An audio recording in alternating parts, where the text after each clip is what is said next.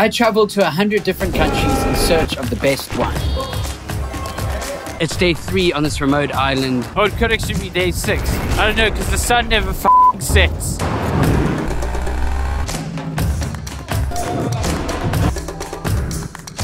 There's no running water here, so I haven't showered in a week.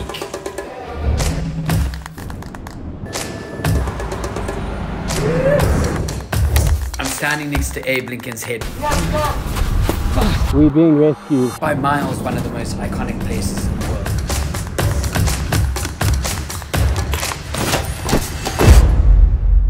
Okie dokie. Over the last 18 years of filmmaking, jeez, long time. Started filmmaking when I was young. I've made films on every continent. I've been to more than 100 countries, and that includes thousands of towns and cities. So I thought to myself, hmm, why not make a list? A list that, in my opinion, um, with my experience, my experience as a filmmaker, are the top 10 places on earth to travel to.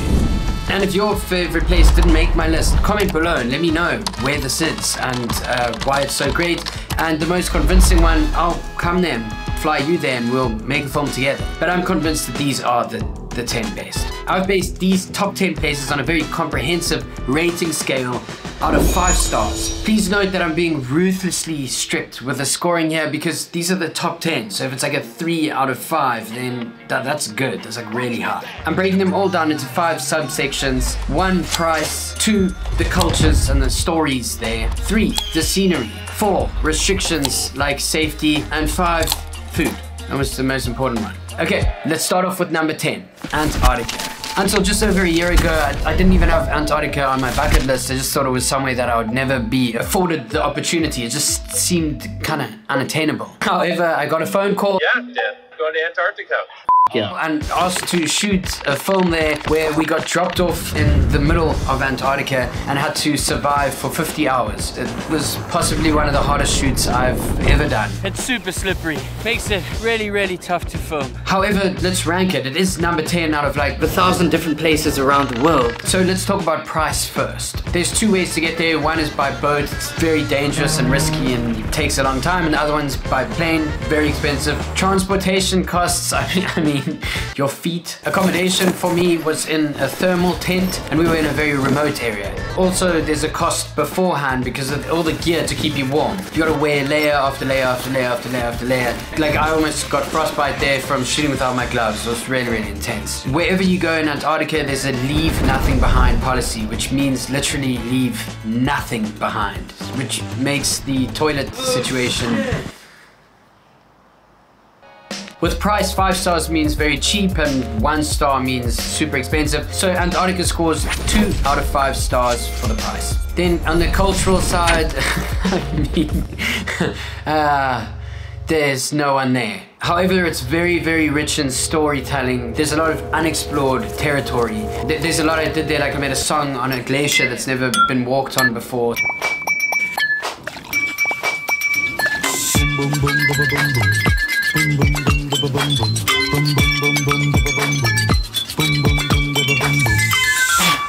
can be really creative and innovative in an area like Antarctica. So on a cultural storytelling scale, culture being non-existent, storytelling being very high, we'll cut it down the middle and call it 2.5 stars out of 5. Then with food, it's survival food, okay? So it's like MREs and nuts and on the cuisine side of things, I'm not gonna rate it very high. So for food, it's a two star rating. I could not eat that. And then this is obviously why it's on the list. For scenery, it's beyond five stars. You have to be there to truly experience it. I was stuck in blizzards and there was times I couldn't see anything. The sun never sets, so it also gives you more time to shoot. This is during the summer period, don't go there. don't go there at the wrong time. It's just dark the entire time. So yeah, five stars for scenery. Then for the restrictions rating, five being very high, like almost impossible to get to, zero being no restrictions. This number will be subtracted from the total of the rest of the stars and then divided up and then we're gonna work out the ending. Just so you understand how this rating system works. It's like maths. As I said, it's obviously very difficult to get to Antarctica. Super safe when it comes to crime, but it's also dangerous when it comes to crevasses and things like that. And then if you had to get hurt, it's obviously very difficult to get you out of there. With all this being said, I'm gonna give it a pretty bad ranking. That's three out of five stars. So Antarctica gets 2.1 stars overall. Remember, I'm being brutally strict with judging these places. These are the best in my opinion, places in the world to travel to. Next, number nine, Manhattan, New York. I had the opportunity to live in New York six or so years ago, working on a startup with my friend Casey Neistat, getting into the rankings, starting off with price. I'm speaking about Manhattan in New York, the island. Ridiculously expensive. Just for instance, the average cost for a three-star hotel is around $250 a night. And that's even if you can find the accommodation in the first place. It's to eat, if you're staying in a hotel and you can't cook and that sort of thing, you can get away with around $30 a day unless you're just eating like really unhealthy street food. That's like really on a minimal budget. Traveling around the city if you're going by cab is pretty expensive. You're gonna be spending about $10 just to get around in the bottom section. But I'd highly suggest the subway. For the Metro Rail, a seven day pass is $34 to around $5 per day. You can also take a city bike around if you want to. If you're going on the bike lane on the west or the east side, it's just really beautiful. And this sets you back around $5 for 30 minutes. Because the price is so high for everything, it gets a two out of five star rating. Then when it comes to storytelling and culture, it's exceptionally high. It's it's so rich in stories. It's so rich in, with people. There's never ending stories all over the place. In every street you can go down, you can find the most incredible person. You can find the most unique people.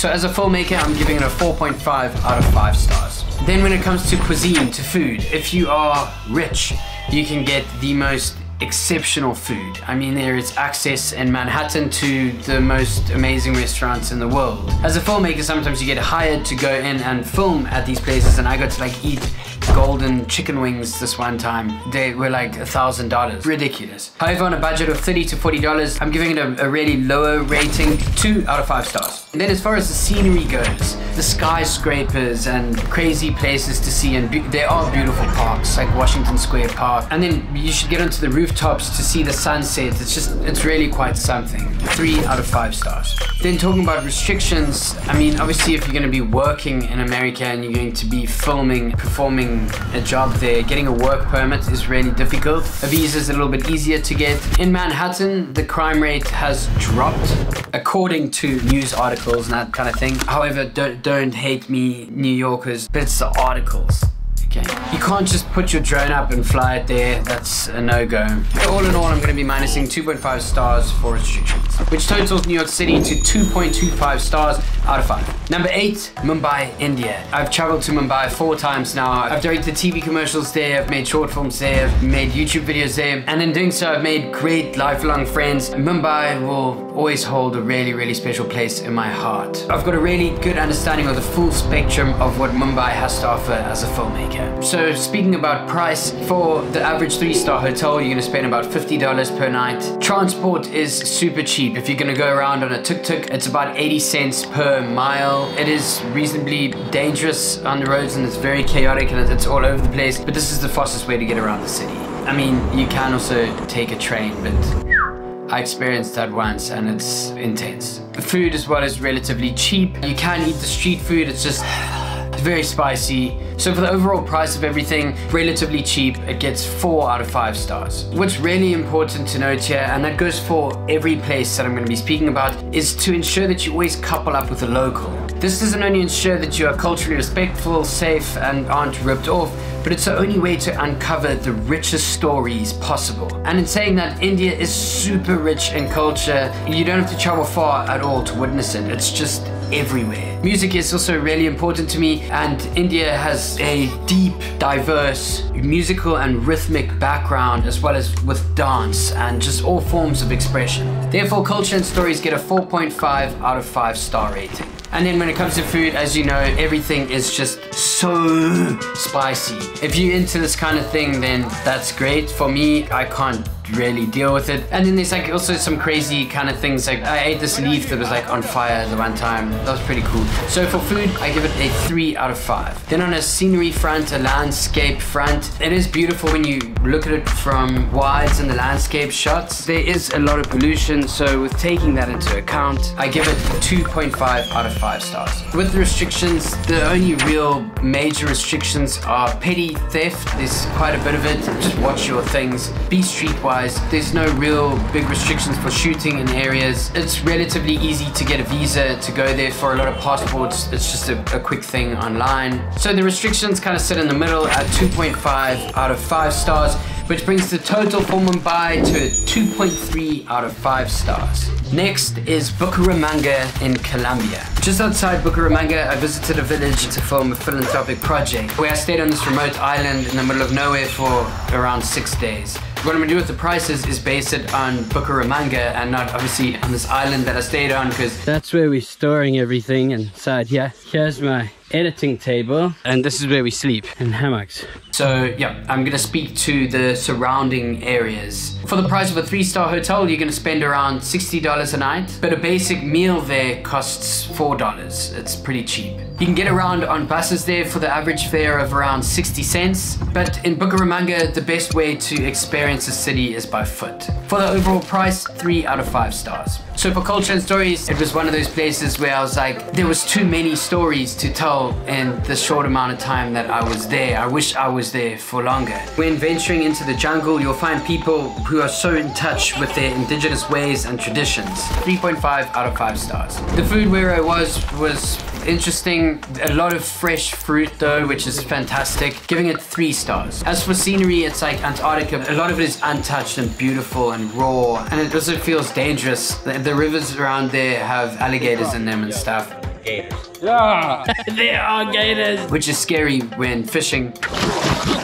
How what do we do now? But the overall scenery is exquisite. It gets four stars. Restrictions are pretty low in most areas for filming. Like, I mean, it's pretty much out in nature in a lot of the areas. Just please, again, act with respect. Never take your camera and like go put it in someone's face. It's that's the worst possible thing you can do. This obviously goes for every area, anywhere you are in the world. So for restrictions, it's pretty low at two stars. The total for Bucaramanga, Colombia being 2.8 stars. For number six and number five, we have a tie. I'm going to start off with the first one just being Albania, Tirana. This was a really interesting story of how I ended up there and I was with a whole bunch of professional snowboarders. And I went to go film there with them in, in a really remote part of Tirana in the middle of pretty much nowhere. We had to drive up this windy road and then ended up in this weird like big house kind of thing. And, and then we had a helicopter because it's the only way we could get to the mountain peaks. And yeah this was just a uh, this was a crazy trip. On a filmmaking side of things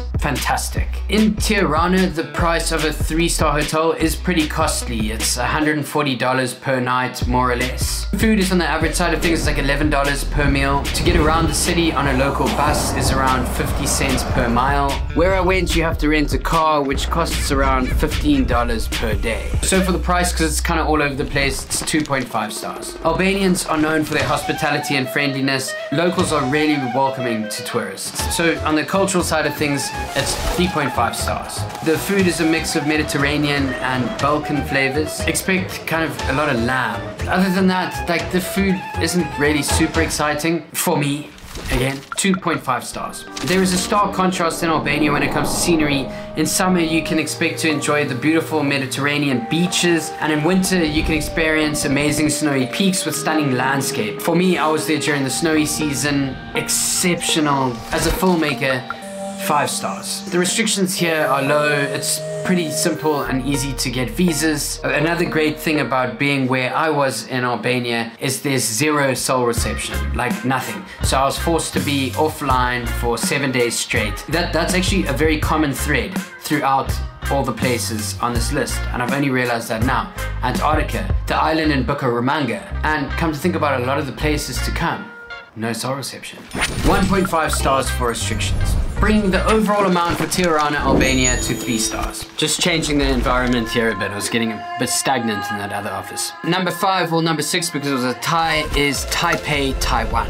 I visited Taipei to make a film with a local named Shosho where the goal was to spread awareness of the beauty Taiwan has to offer by completing one of the most difficult cycle trails in the world. I did cheat, yes, because I used an electric bike, but I still completed it, which surely counts for something. I spent around two weeks there and traveled around a lot, which gave me a good indication of averaging out costs. The price of the necessities varies a lot, as you can eat at a lot of street vendors cheaply for around $2 per meal. A three-star hotel costs around $70 per night. Transportation is around $1 per mile if you go by taxi, but renting a bike, which is very common, is around $15 per day. Therefore, the ranking in price 3.5 stars. Taipei is filled with culture due to its ancient heritage. People here are really friendly, they're super polite, they're a little shy at first. But once you get to know your intentions and why you are making a film there, they open up really quickly and they start to share their stories, making for exceptional storytelling. This along with the experience that I had with Shosho, 4 stars. Food, however, ooh, that was a different story. I decided to go the street vendor kind of route and, uh, and, and yeah, that was crazy. I ended up eating chicken's ass and a bunch of other weird shit like bugs and things like that. It's just not for me, okay? Therefore, a ranking of 2.5 stars. After experiencing the mountains of Taipei on a bike and walking around the city capturing its beautiful architecture and traveling to one of the only surfing spots where I managed to only catch one wave. However, the beaches and the cliff faces that hang over the ocean were exceptionally beautiful. Therefore, for scenery, four stars. Restrictions for filming are pretty tight, can get permits and that kind of thing, and it's super safe, which helps the restrictions score, so I'm giving it a two. Taking the overall score of Taipei to three stars. Counting down the list to number four is Tokyo, Japan. I went to Tokyo around five years ago to make a film about robots. And this is how I ended up meeting a local there named Shin. He, he took me literally everywhere around Tokyo. I had the greatest experience there. Another added benefit for filmmakers is that Tokyo houses the world's biggest camera store. It is huge. And speaking of price, it is reasonably expensive. It's about $150 per night in a three-star hotel. Food is around $16 per meal. And then if you take the train, which is super fast, hyper efficient, it costs around $1.2, $1.3 per trip. Overall, the price gets two stars. The culture there is really interesting. It takes some time to adjust to, but when you get to meet individuals, you get to meet people, there's an array of different kinds of people. And the, again, the storytelling is really rich. Therefore, 3.5 stars. The food is astounding. So far, out of all these places, Japan is the greatest with food. Therefore, 4.5 stars. Then landscapes and scenery, just diverse. Like there's nature, there's city centers, graffiti, there's colors everywhere. It's the whole place. It feels so cinematic. Therefore, four stars. The restrictions are low. The city's safe from my experience. Visas aren't really difficult to get for Japan. Cameras are really welcomed all over Tokyo. Therefore, restrictions are super low at 1.5 stars, bringing the overall rating of Tokyo, Japan to 3.1 stars. And just back to the other office quickly, I just want to say a huge thank you to the sponsor of this video, LMNT. I drink LMNT every single day, every day. Already tasty. Makes you drool. That's the canned one, which is easy. But the other ones come like this in multiple different flavors. My favorite flavor being the watermelon flavor. You just pull one of these bad boys out your pocket. No colorants, look. What's the point?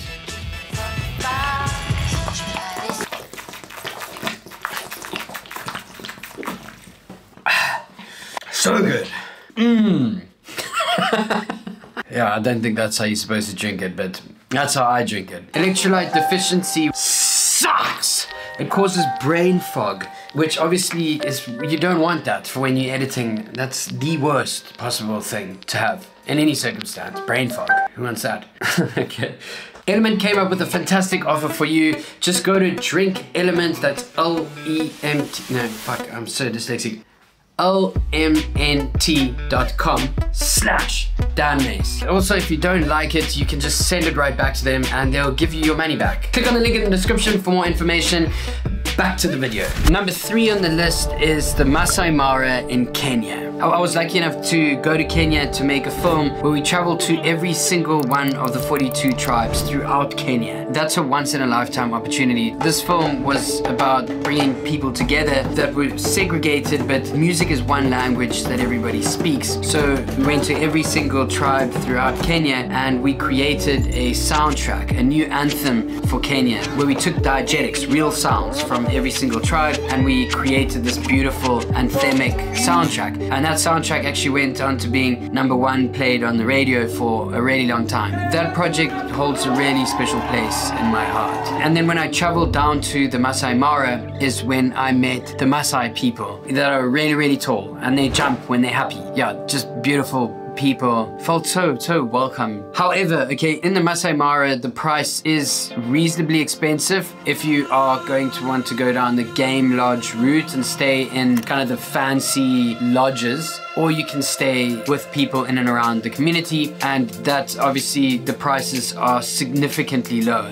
It's, it's so it's really difficult thing to kind of pinpoint the accommodation prices. A taxi costs around two dollars per mile and it's around nine dollars per meal. So yeah it's it's a bit here and there which is the reason it gets three stars. Moving on to culture as i said the greatest. Cannot beat it. Exceptional. Unlike any place. These last three places are destinations you have to travel to. Therefore five out of five. Food is generally a lot of meat. If you're not into that, then you're not gonna really enjoy it. There are vegetable options and that kind of thing, but it is, yeah, it's very, very kind of farm to table kind of thing, which is a good thing. And then if you wanna like impress the Maasai people and do something uh, more traditional, you, you can drink uh, goat's blood and stuff like that. Yeah. Therefore, food, three stars. The scenery is unlike anything you'll find anywhere else. I and there's wildlife, there's rhinos. I had an experience where, like, I was so close to a rhino. It was terrifyingly beautiful. Obviously, dangerous. Don't go roaming around freely like that. We're, we're there with rhino conservation people. This is just beautiful landscapes. If you've ever seen The Lion King, that's literally the sunset every night. It's a golden hour. Shooting in golden hour there is unbeatable. Therefore, for this category, 4.5 stars. Speaking specifically to the Masai Mara here, it is extremely safe. Visas are really simple to get. The language barrier isn't bad. Shooting is permitted throughout. Flying a drone is really simple. Therefore,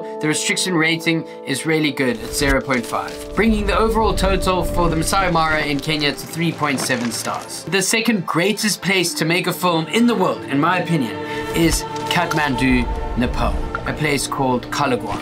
Throughout this video, I've said you, I can't describe it unless you've been there. You have to experience it for yourself. I don't want to get deep here or anything like that. There's something about Nepal one it's the people it's the language it's the cadence of the way the people speak it's the calmness uh, it's the humility it's, it's also reasonably small and it's just it's it's goddamn beautiful coming down to these final two it was very difficult to make a decision so i had to go to the chart the ranking system okay I flew into Kathmandu and then I took a pretty long bus ride to the top of a mountain to film a philanthropic project for around a week. But when I arrived in Kalagwan, and this is what I said the current thread of all of this is, there there is zero cell reception. So I was forced to be there in that environment and experience it for what it is. And because there's no hotels up there, we're invited into what's called a homestay, which means to stay with a family, with locals.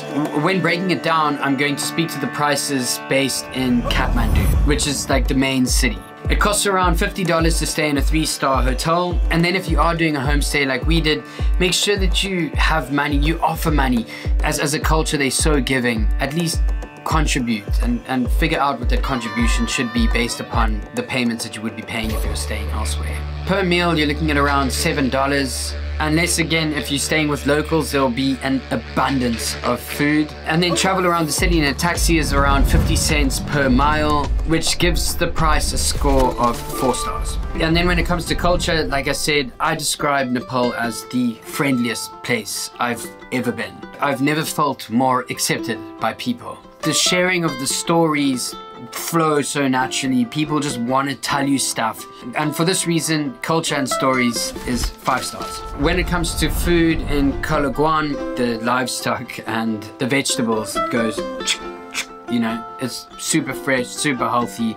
However, there is no running water. That makes it extremely difficult. And then in Kathmandu, the water is a little bit sus. So those stars are knocked down slightly. So therefore, food is three stars. There's no need to speak about scenery here. I can show you some clips. It is one of the most beautiful places on earth. Therefore, scenery, five stars. On the restriction side of things, in the main cities and tourist attractions, permits are needed. When you travel outside of the city, filming is really easy. There is no real restrictions. Again, there is a slight language barrier. Visas are pretty easy to get. And, and outside of Kathmandu, Kathmandu has a little bit of petty theft, but the more rural areas, it is really, really safe. Therefore, 1.5 stars for restriction. And this leaves Kathmandu, Nepal with 3.8 stars. And then coming down to the number one, the greatest place on earth, in my opinion, to travel to is Cape Town, South Africa. I've luckily been afforded the opportunity to live in other places around the world, but somehow there's this gravitational force that just keeps pulling me back here. And that force is because it is just so goddamn great. There is no place on earth like Cape Town, South Africa. Beaches, mountains, wine farms, deserts, the greatest music you've ever heard, festivals, Table Mountain, some of the greatest waves in the world, best beaches in the world. I think I said beaches already, but I needed to say that again. Nature, like gardens and trees and animals. And the thing here is that all of this is in like 20 miles. It is insane. But I'm gonna break it down further. The price point here is really good. It's around $80 per night for a three star hotel. An average meal at a restaurant is around $6 to $8 per meal. There are multiple versions of transport. Some are a lot more dangerous. Like if you wanna jump in a mini taxi, probably one of the cheaper options. That's around $1 to get really far actually. But then there's MyCiTi buses, which are good, and that's about $2. Therefore, price gets four stars. Culture and stories, just gonna say it up front, five stars. It is so rich in culture. It is, there is just so much to do in Cape Town. There's beaches on the on the top of a mountain. It's insane. That's landscape, sir. But I'm just getting excited. Well, there are people from all walks of life. Uh, most of my films are made in the township areas because the stories and the heritage is just runs so deep, and the culture is just so beautiful. Food because there's such a diversity of people. Every single kind of cuisine made by the culture that represents that cuisine. Therefore, food gets five stars. And landscapes aren't even going to talk about. I'm just going to show you some footage. Clearly, five stars. Slam. The restrictions, though, is the only thing that brings this down, or it would have been a five. Visas are extremely easy to get to come into Cape Town. There is every single language. The restrictions on language are like zero. However, then yes, I have to be honest about the crime. It is bad. So there's areas where crime is bad, and that brings this rating down. However, again, if you couple up with a local, you won't end up in dangerous areas. You just have to stay clear of certain areas, and it's safe. A little bit of petty theft here and there, but I mean, people just focus on the bad shit that happens here. There is much more good shit. Therefore, I'm going to have to give it 2.5 stars minus. So this brings the overall total to a high, a staggering high of 4.1 stars out of 5. And yeah, I'm gonna take you to the other office now to end the film. Thank you for watching, and like I said in the beginning, if your favorite place is not on the list, let me know in the comments. Convince me, and I'll pin the top one and travel there with you, or if you live there, I'll come to you and we'll make a film together. Make it convincing.